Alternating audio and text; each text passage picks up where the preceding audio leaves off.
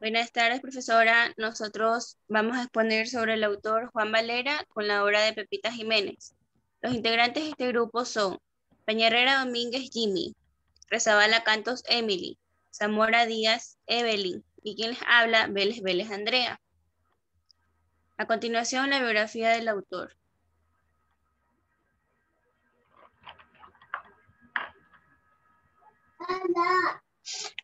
Biografía del autor Juan Valera. Este nació el 18 de octubre de 1824 en Córdoba. Provenía de una familia muy aristocrática. Fue un diplomático, político y escritor español. Era hijo de José Valera y Viaña y Dolores Alcala. Pasó su niñez en Andalucía, estudió lengua y filosofía en el seminario de Mangala de 1837-1840. En el 1841 estudió en el colegio Sacromonte de Gandara. Más adelante de esto estudió filosofía y derecho. Trabajó como un cuerpo diplomático, también fue diputado y tuvo varios cargos importantes en la administración en el 1861 ingresó en la Academia de la Lengua, pasó sus últimos días alejado de toda actividad pública. Era un hombre elegante, distinguido y refinado, de gran cultura y brillante ingenio y su armonía. Era un escritor y crítico español cuya obra se inscribe de una corriente estética opuesta al realismo, naturalista, político y diplomático. Fue un hombre culto y retirado de todo el público y se inició como teórico literario con el ensayo literario en el 1844, en el cual fue duramente criticado.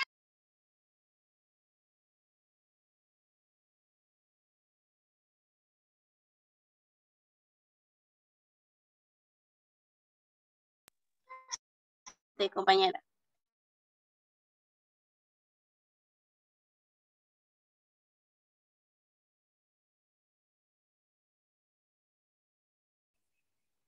Este, Juan Valera, crítico y ensayista, escribió interesantes artículos y ensayos filosóficos, histórico y político. Y numerosos estudios de críticas literarias sobre autores y obras clásicas contemporáneas antes de dedicarse a la escritura de novelas.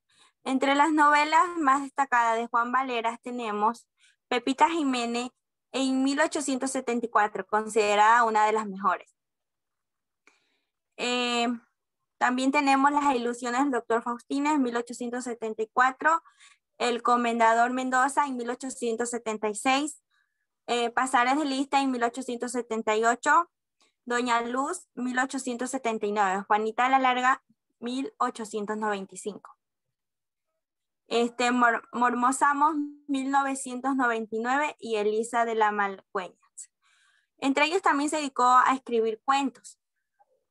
Entre los más destacados tenemos el cuento de Chascarrillos Andaluces, 1896, El pájaro verde, La buena fama, La, la, la Gorundas y los cigüeñas blancas, La muñequita y bueno, mi compañera a continuación.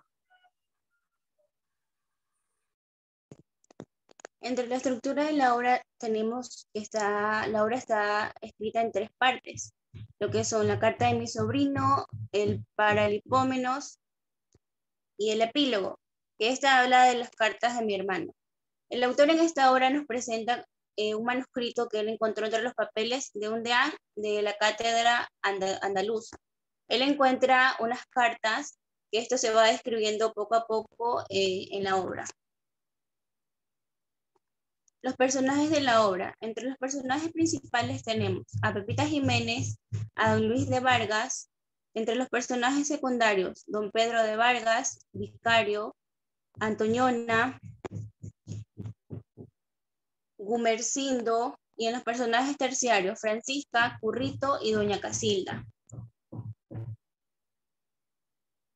Entre el análisis literario de la obra de Pepita Jiménez, tenemos que la obra está dividida en cuatro partes. Esta misma empieza con un prólogo cuyo narrador aparentemente es un editor que narra el cuento de un manuscrito. El tema de la obra es, la contradicción entre el amor que tiene el ser humano por una mujer y el amor divino hacia Dios. Esta obra eh, presenta mucho lo que tiene que ver con la religión. Nombra a Don Luis, que es un seminarista religioso. El estilo de la obra es un estilo delicado. Tiene una sencillez, una naturalidad y una elegancia que lo caracteriza. Su ritmo es tranquilo y su lenguaje es, espiritual porque menciona mucho la religiosidad. El narrador de la obra presenta, esta obra presenta cuatro narradores, un editor, don Luis, el padre de don Luis y don Pedro. Eh, la obra está narrada en primera y tercera persona con un narrador omnisciente en lo que es las cartas del Paralipómenos. El espacio se da en un pueblo del sur de España, de Andalucía. El tiempo es en el siglo XIX, en la primavera.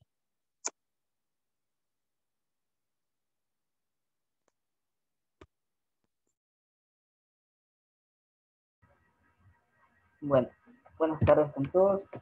El realismo es un movimiento literario que se origina en Francia, pero tiene un gran desarrollo en lo que es este, España.